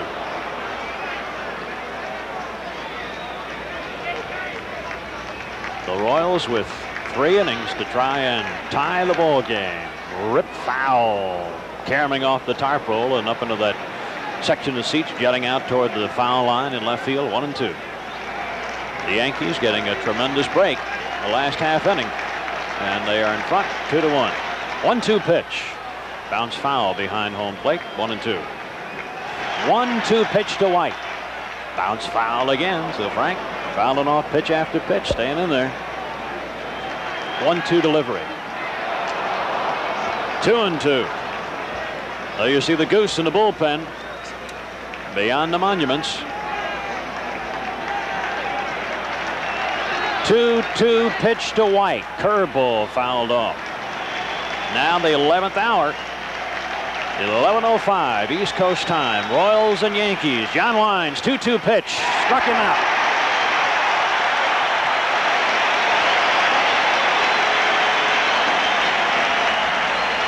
Here's another look at it. Here's a sinker down, and, and, the ball is actually out of the strike zone. That ball by Tommy John, though, moves so much, very difficult to lay off that pitch. Two gone for the Royals in their half of the seventh due to the length of tonight's game. Action 4 News normally scheduled at this time will be seen at the conclusion of the ball game, so stay tuned for news immediately following tonight's game. Willie Wilson at the plate, one for three tonight. John Wines in the pitch to Will. Ball one. Now the Royals to the top of their order here in the seventh with two gone. 1-0 delivery. Loop down the line in right field. Could be trouble. Jackson goes over that way. It's a fair ball and off the wall. And here goes Willie Wilson. Wilson hangs on over at second base. A good play by Reggie Jackson to hold Willie Wilson to a double on that play. If you don't play the carom exactly right, uh, it's a stand-up triple for Willie Wilson. Oh, and noticeable by its absence, crowd noise on that last drive off the bat of Willie Wilson. Of course, that corner is very close to home plate. Willie bouncing it in the corner and Jackson getting on the ball in a hurry. And now here comes the Yankee skipper, Dick Howser, out, and he might be making a move here.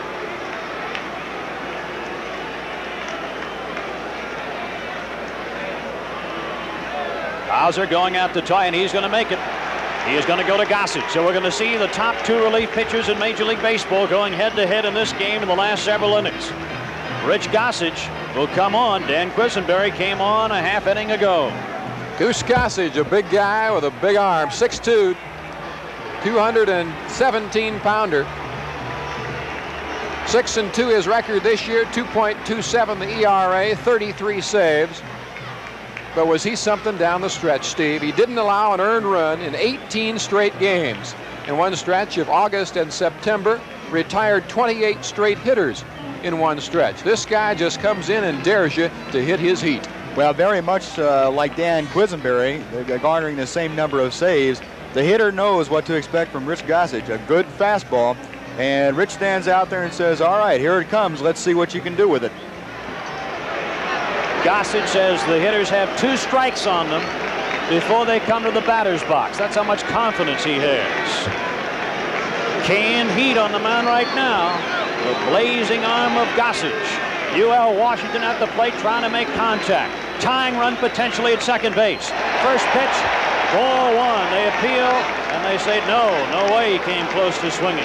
1 0 the count to UL Washington. Boy, you can see the marked contrast between the velocity of Gossage and the deliveries of John right away. There you see Jackson very shallow in right field along with the rest of the Yankee outfield. The infield is back trying to cut anything off. Two outs. The pitch in for a strike. One and one the count to UL Washington. Yankees would like to try and cut the tying run down at the plate. If it's hit to the outfield, they want to try and choke off anything on the infield, keep it in there. Great speed over at second base in Willie Wilson. Time called as UL Washington steps out. Yankee pitching coach Stan Williams will tell you that Gossage usually has his best stuff after pitching in short relief two or three days in succession. This is the first we've seen him in game conditions here in the playoffs in 1980. Two on Yankees here in the seventh. The pitch misses. Two and one The count to UL Washington. Royals leading in the game after the home run in the fifth inning by Frank White. Yankees going in front on a double, a couple of singles, and an air. That happened in the sixth. Two outs. Washington at the plate. Wilson over at second base. 2-1 pitch. Inside with a slider. Three and one to count. Well, that is what you would commonly call, if you were a player, canned heat. He throws that ball awfully hard. UL Washington at the plate. Picture of concentration, reading signs from Gordy McKenzie. Wilson over at second base with two outs. 3-1 pitch on the way, a strike. Take it.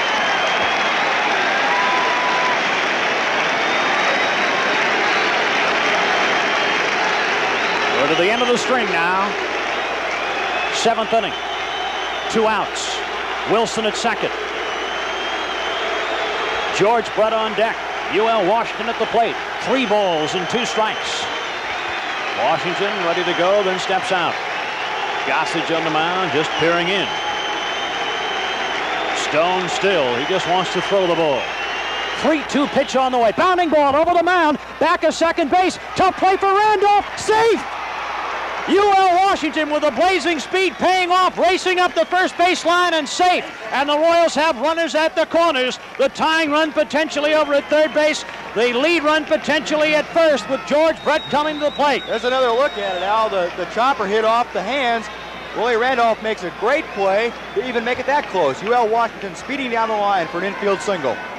Oh, here's the game on the line right now in the seventh inning. As George Brett 390 on the season, but 0 for 3 tonight. Brett facing the right-hander Gossage in the seventh inning of the third game of the American League playoffs. Tying run for the Royals over at third base in the person of Willie Wilson. Lead run potentially over at first base in UL Washington. Outfield deep at every position now with George Brett at the plate. Set by Gossage, a high drive hit deep to right field. It is gone. Three-run home run by George Brett into the third tier of Yankee Stadium, and Brett has taken the Royals and put them in front. Put them in front here in the seventh inning. The Royals now lead it four to two, and a stunned crowd here at Yankee Stadium in New York as Brett being patted on the back by Gordy McKenzie and the welcoming party at home plate as the Royals lead by a pair of runs.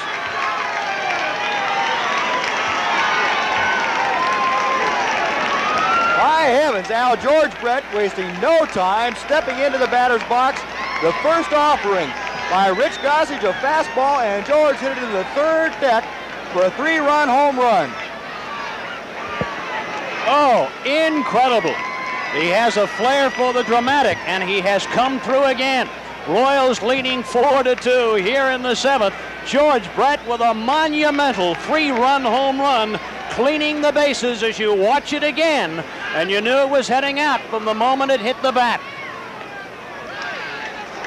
Hal McRae at the plate, one ball and two strikes. A stunned crowd here at Yankee Stadium in New York. Gossage roughed up by Brett. They thought that was a called strike three, but it's two and two. Well, the faster it comes in, the faster it goes out. And the velocity of Gossage meeting the velocity of George Brett's bat, and he changed directions on that ball rapidly. Well, if George was impatient at the plate, that paid off because you can't afford to wait too long on Rich Gossage. The 2-2 pitch to McRae, foul behind home plate. That'll make your heart skip about five beats. My Lord.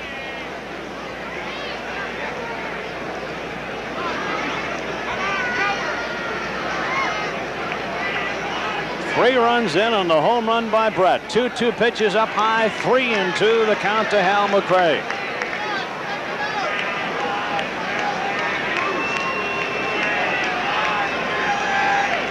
Three-two pitch to McRae. Check swing. It's a bouncer, a roller. Tough play for Nettles. He has to hurry. Not in time. McRae safe over at first base.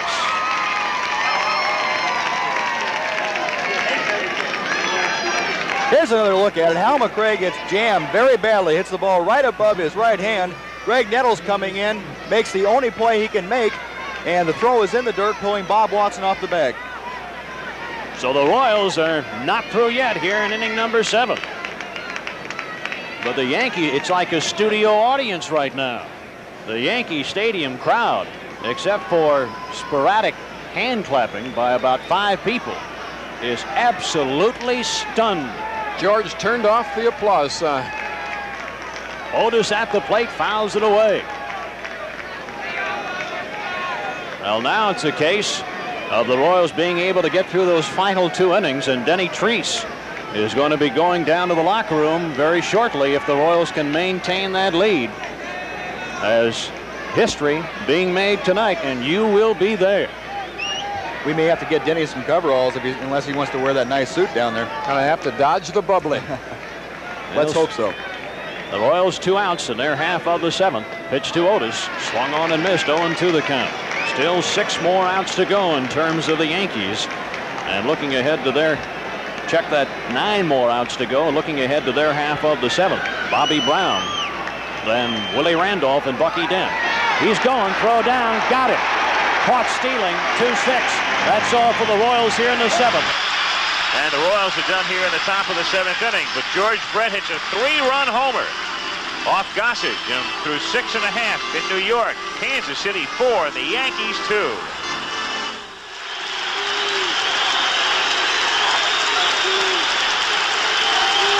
Three-two pitch. Chopper toward the middle. Randolph will have to hurry. The throw doesn't get him. Runners at first and third. So UL Washington with good speed. And the two men up front and Brett, who's number three, can all move and beat out hits of that sort. So runners at first and third, and now he has to face Brett.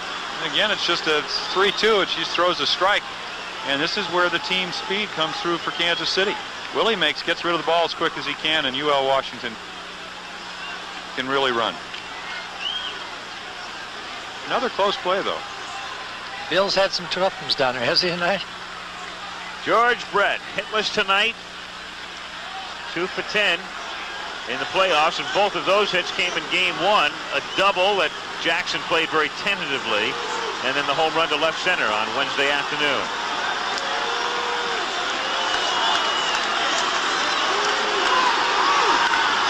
Hit in the air to deep right field, all the way back, and that one is gone.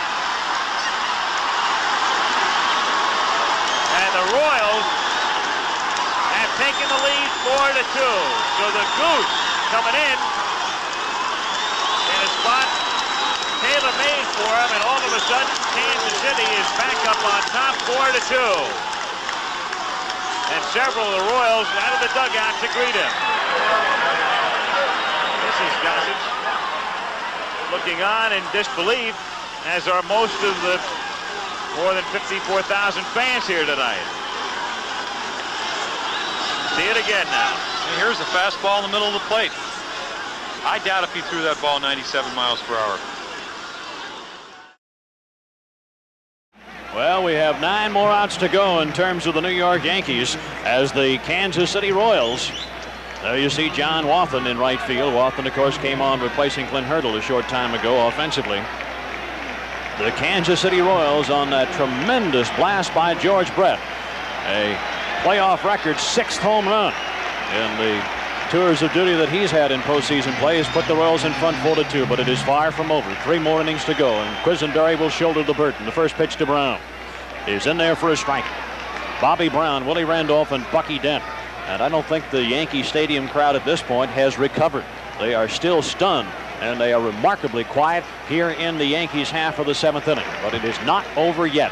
He gonna bunt. It's foul behind home plate, and the count goes 0-2 to Bobby Brown.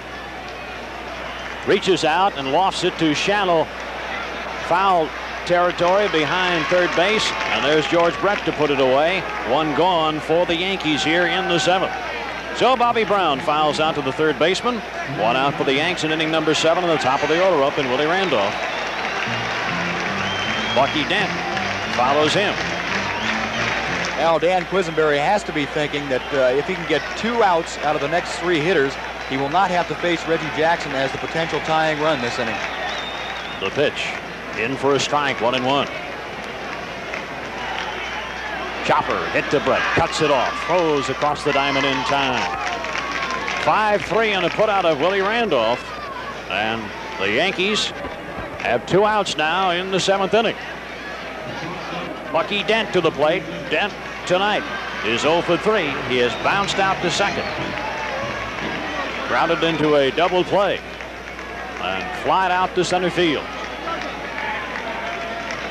One strike delivery on the way. Tapper hit over the mound, charged by White. He feels by the bag, throws over to first base in time. It's a one, two, three inning for the Yankees in the seventh, and we go to the eighth with the Royals leading four to two. High above Yankee Stadium in New York, a stunned Yankee Stadium, where amazingly enough, many of the fans have already started to turn and go to the exits as the Yankees and the Royals now in inning number eight and the third pitcher of the night for the New York Yankees, Tom Underwood, a left-hander. And that really tells you something when the top man out of the bullpen for the New York Yankees, Gossage, goes only one inning. Of course, is hit by the big home run by George Brett. Take him out the next inning. Gossage no longer in there, and Underwood replacing him. Amos Otis, Willie Aikens, Darrell Porter, for the Royals here in the eighth against Tom Underwood. The first pitch is high and away, ball one. Kansas City, four runs, 11 hits in one air. The New York Yankees, two runs, seven hits and no errors. And again, the Yankee Stadium crowd stunned and sounding like an exhibition crowd. Line drive, base hit, center field for Amos Otis. And you can hear some of the Royals fans applauding in the background, and that is about it. Everybody else sitting on their hands, the New Yorkers, and there are a ton of them here tonight, 56,588. They are not doing very much noise making right now. I'm sure, Al, that Amos Otis, along with many of the other Royals, glad to see Rich Gossage taken out. Uh, Amos had a couple of uh, off-balance swings against Rich, and uh, when Hal McRae was thrown out attempting to steal, gave Amos new life, this time against Underwood. Now the Royals, they have really really had some exciting baseball, exciting individual moments in this short three-game series. And getting to Gossage and getting him out after one inning, that's a remarkable accomplishment. 1-1 pitch to Aikens. Hit well to left field, but Piniella has the range on it. He's there and makes the grab. Otis retreats to first base. One gone for the Royals here in the eighth as Willie Aikens flies out to Lou Piniella in left field, and Darrell Porter will come to home plate. Porter tonight has walked, and he has flat out twice to Piniella in left. Underwood sets. They got Otis leaning the wrong way. Throw to Watson, goes down to Dent, put the tag on him. One, three, six on the put putout of Amos Otis, caught stealing. Very unusual, Al. You will see Amos Otis picked off that badly, especially by a left-hander. But uh, as we said yesterday, a uh, great student of pitchers and their idiosyncrasies, this time misjudging and misreading uh, Underwood's delivery. There you see the throw by Watson to Dent, caught stealing. Otis with eight straight successful stolen bases. First time in the playoffs he's ever been caught stealing. Curveball that misses 2-0. The count to Darrell Porter. So the base is clean right now. Two outs for the Royals in their half of the eighth. We'll look ahead to the Yankees half of the eighth in just a bit. Swinging a drive, hit deep straight away center field. But there is Brown. He has the range as the ball dies and he makes the grab. Royals gone in their half of the eighth. Yankees have coming up Watson, Jackson, Gamble. We'll be back with the bottom of the eighth right after this. Stadium.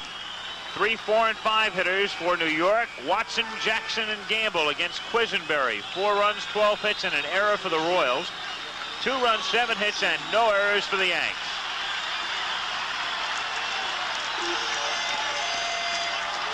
Kansas City with Quisenberry and Porter, the infield, Aikens, White, UL Washington and George Brett, the outfield, Wilson, Otis.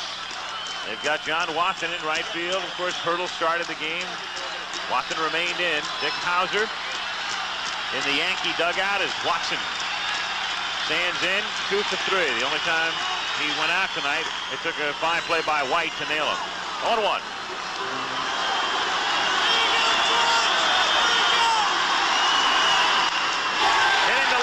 Center field for a base hit and maybe more. Otis can't track it down all the way to the wall at 430 feet away. Watson rounding second on his way to third. The throw is high, backed up by Quisenberry. It's a triple.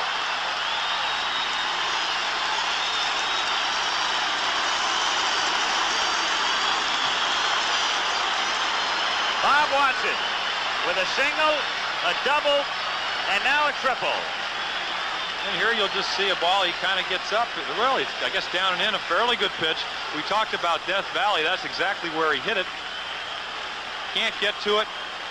Questionable play right here. I think maybe a good relay is going to make it awfully close, but he, he throws it high, and the pitcher's exactly where he's supposed to be, backing up the play. Well, with two runs down, I don't think I want him to be stretching out a triple. Trip doesn't mean anything at this point.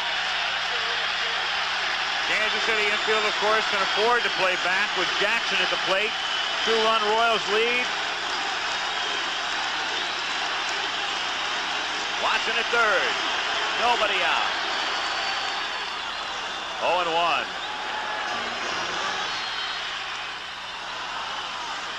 McCoy taking that one. Home plate umpire, and the count is 0 and 2. One and two the count. Well, he's going to be facing some tough customers. Got He's got Oscar, Oscar, Gamble on deck, and then you'll see Cerone, and then you have Lou Piniella. You'll probably see Jim Spencer, another home run hitter, followed by Graig Nettles. He's got his work cut out for him, but 33 saves definitely has the talent to do the job. Two balls, two strikes on Reggie. Yankee bullpen. Looking, looking on. As Reggie awaits the 2-2 pitch. And checks in time. Just outside. Three and two the count. Here, a pretty good pitch. Looks like it's a little bit off the plate. Reggie starts and being as strong as he is can hold up with a bat. That pitch was outside. This crowd now just rising as one. Three and two on Reggie. Everybody standing. Except the Kansas City Wives. 3-2 to Jackson. Ball four.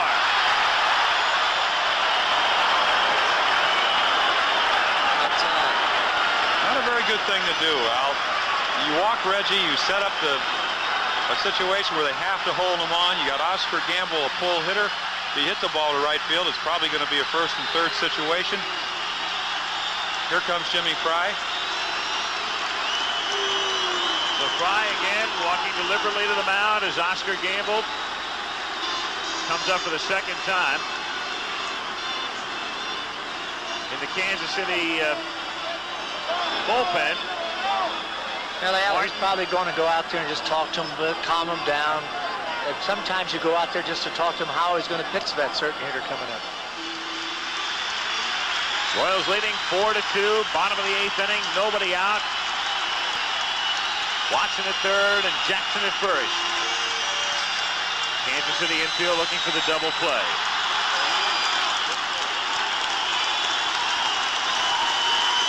Oscar can get awful sudden up there.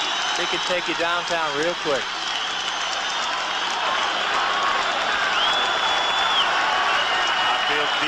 into Kolb.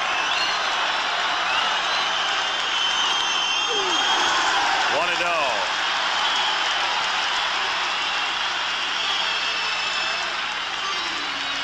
We talked yesterday about what a good hitter Oscar Gamble was.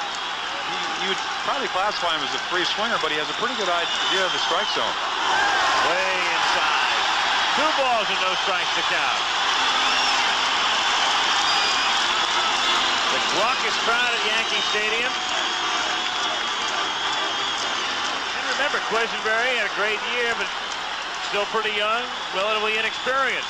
Well, this is first playoff game, not games, but first playoff series. He's losing out there right now. He just can't seem to get it. Well, it probably is because he's trying to keep the ball down. Well, when he, walked Reggie, when he walked Reggie, he put the winning run at home plate, and uh, that's exactly what you don't want to do. If he threw a home run to Reggie, the, the worst thing that could happen was the game would be tied. And that's the thing that Earl Weaver over the years, is, is you don't want to do it, but at least you don't lose. And he walks them on four. They're loaded up.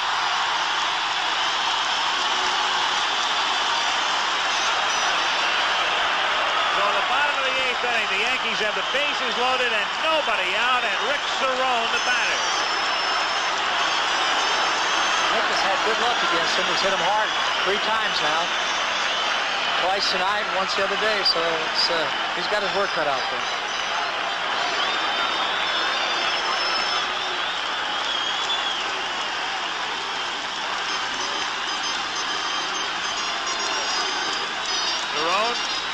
drove in what was then the go-ahead run in the sixth inning.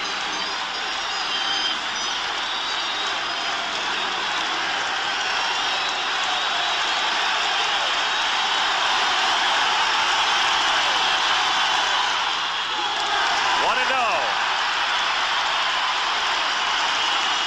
Renie Martin in the bullpen.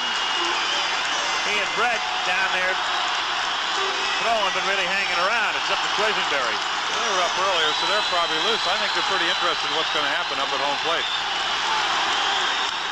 Line drive caught by Washington goes to second. They get a double play as Reggie gets doubled off at second base and the other runners get back. Well, that's not very good base running, is it? No. No, that's what you tell your coaches all the time. Tell the, the runners don't get doubled off on a line drive. You're two runs down.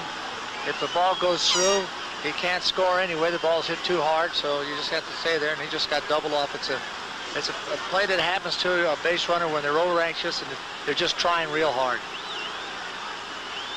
And Reggie Jackson gets caught on second, caught by a mile too. Two down, runners at first and third. And the Yankees going to the bench for Spencer. Piniella scheduled up. The the left hand batting Jim Spencer with good power. Coming up here. Ladies and gentlemen, Two on and two out. Bottom of the eighth inning, the Royals on top four to two.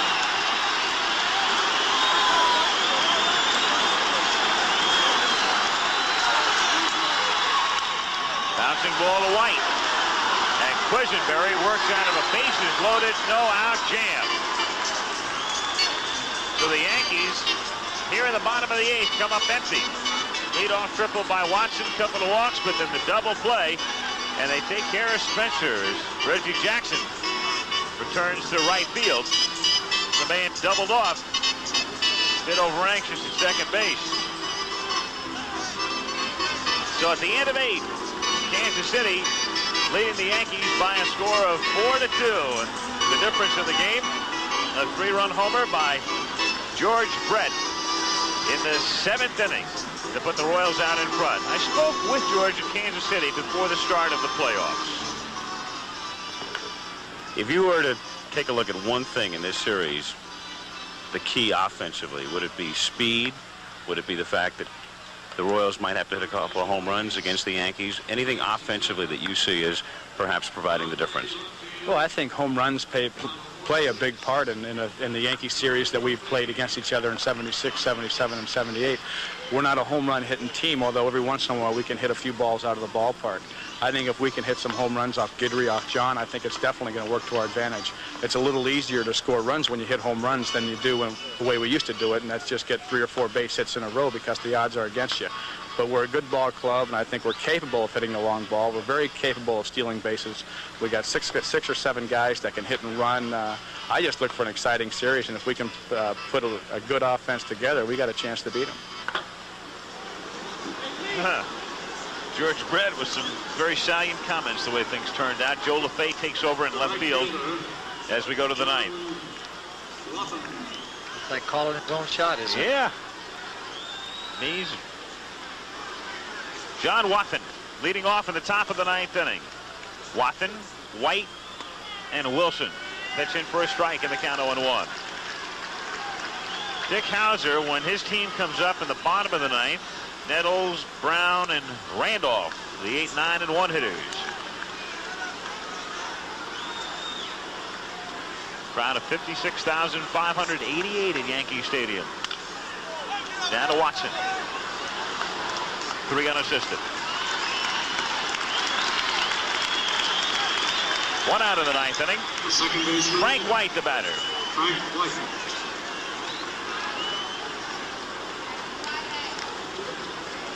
Well, the Kansas City Royals hoping it turns out to be a one-day trip to New York. They'll be going crazy in KC. Oh. They won't need a plane to get back there, will they? No, I don't believe so. One and oh the count. The Royals seeking their first pennant ever. Of course, Kansas City had the A's before they went to Oakland. And after they were in Philadelphia, they never won a pennant in Kansas City. One ball, one strike to count. George Brett, this is really a, marvelous story in terms of the Royals. You talk about expansion clubs in sports, what they have done.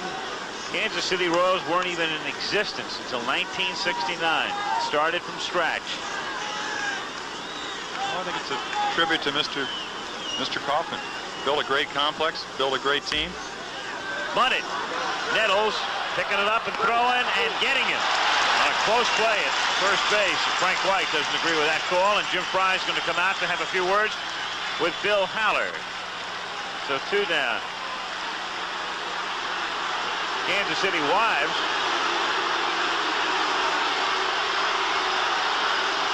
We take a look at the play again. Well, it just looks like a lot of the plays before uh, looks like a tie. I'm sure Jimmy Frey's saying, you know, it's not over. I know we have a two-run lead, but I think he was safe, and uh, that's what he wanted to call. Well, I think it's the right thing for Jim to go out there and argue. His player was arguing. He's got to go out there and, and stick up for his player. If he doesn't do it, then the player's going to say, look, the manager's not even arguing for me. I mean, the game's not over by any means. No way. Powers really had some tough plays to call at first base tonight. I thought he'd done a fabulous job down there. He's really had some tough pieces right, Jim. Willie Wilson, two for four. Because of the length of tonight's game, the show Fridays will not be presented this evening. We'll return next week at its regular time. 0-1 the count on Willie Wilson. Tommy Underwood in relief of Tommy John and Goose Gossage.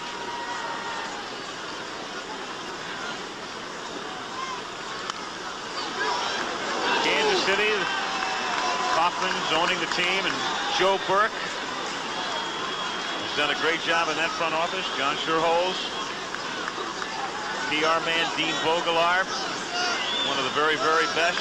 Quite a Let's guy. not- Quite a let's guy. not forget the fans. Yep. I think it's one of the few towns we really enjoy going to because they just appreciate, I think, the game of baseball. Uh, you can pitch a good game against them, and they appreciate that, and they let you know that. Tremendous fans. Well, they sure come out.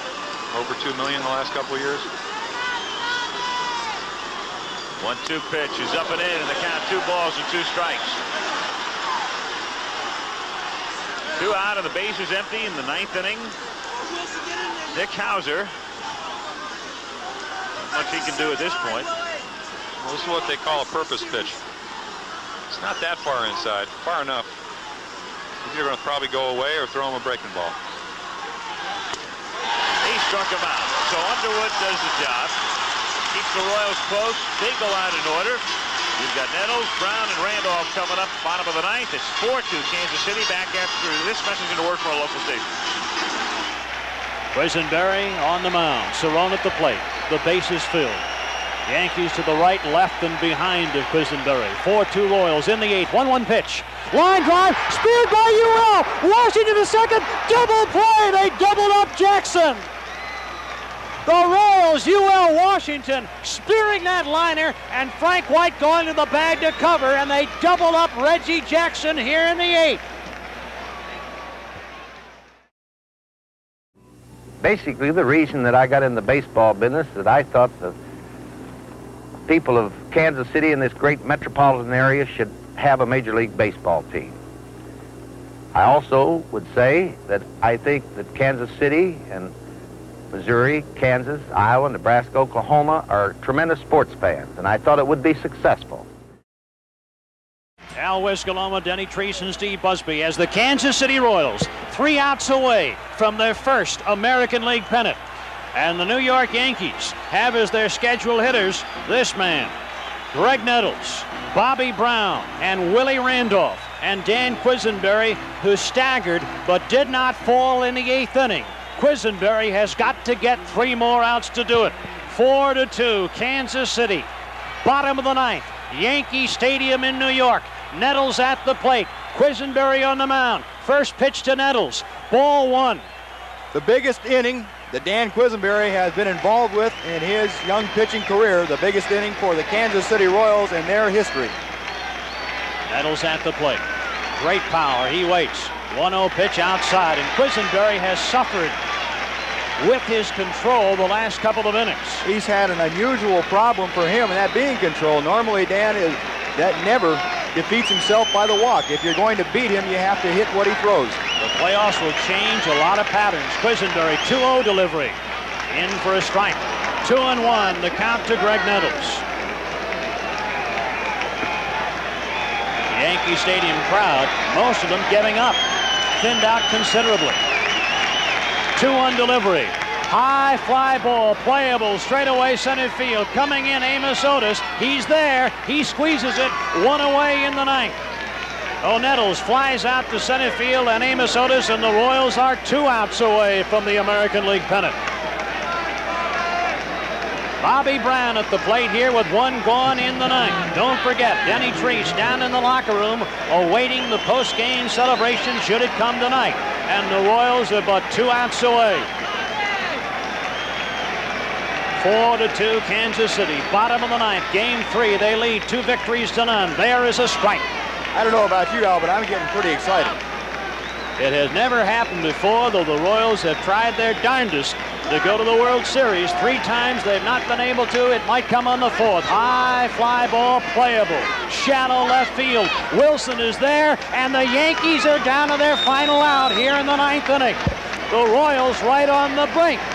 The World Series is just one out away as Willie Randolph comes to the plate for the Yankees here in inning number nine.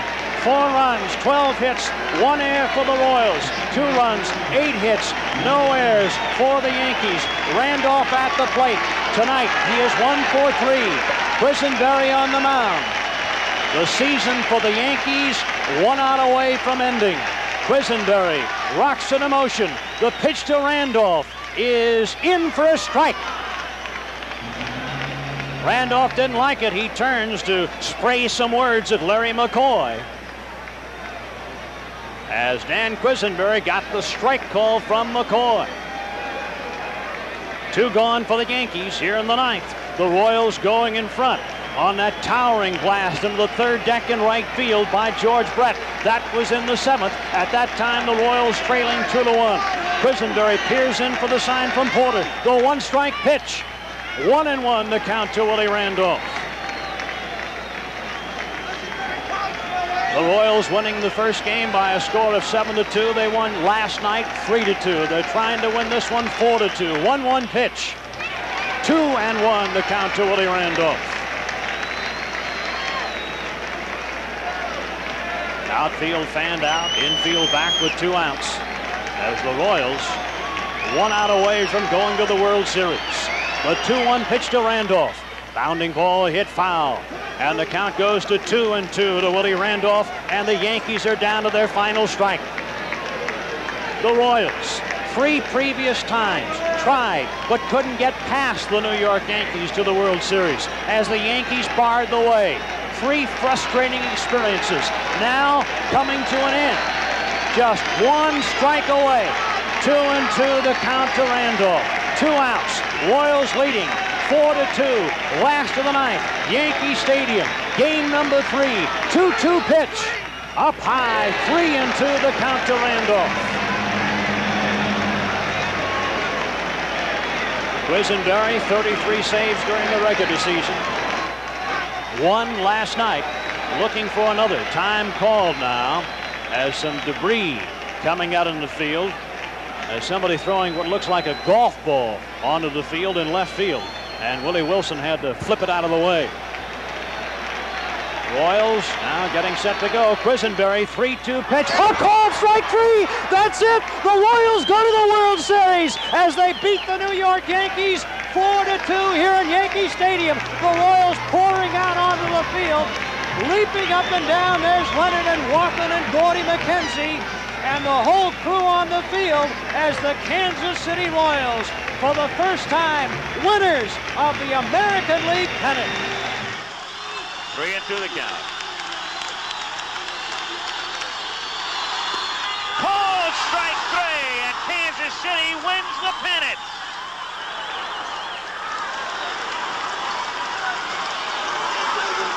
The Kansas City Royals turned aside 76, in 77, in 78, coming into New York and sweeping the American League Championship Series. Graig Nettles, a reflection of the Yankee mood. Quisenberry, Cerone, the Royals bullpen. And back they go into the clubhouse. Bob Uecker is down there. The Kansas City Royals have swept it. Led by Brett and Wilson and Quisenberry and White, who had a sensational series.